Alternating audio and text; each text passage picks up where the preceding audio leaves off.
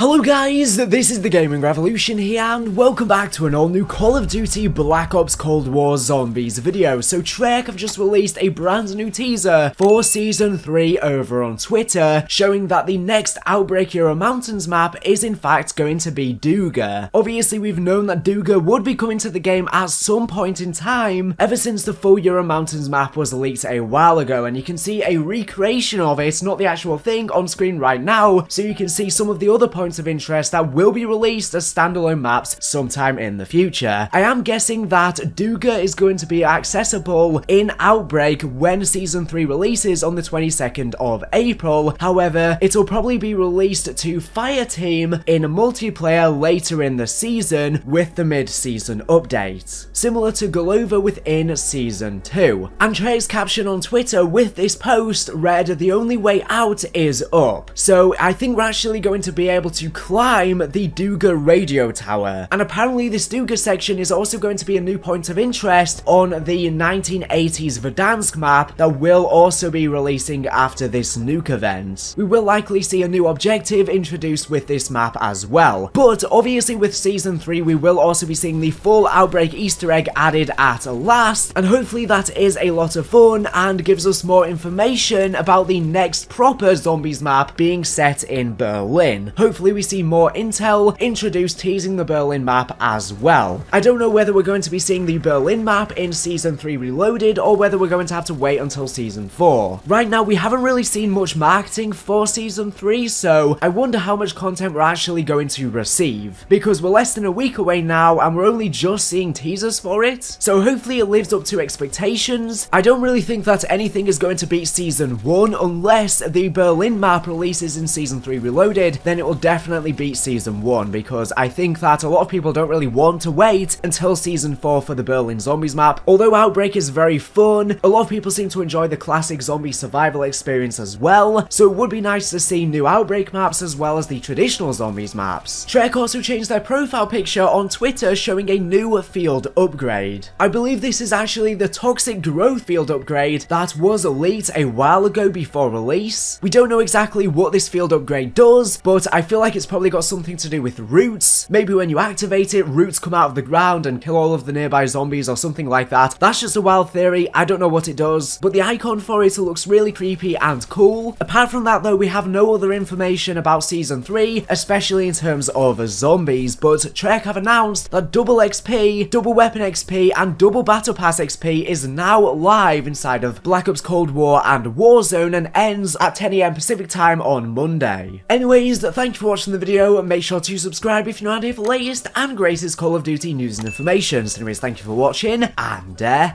bye.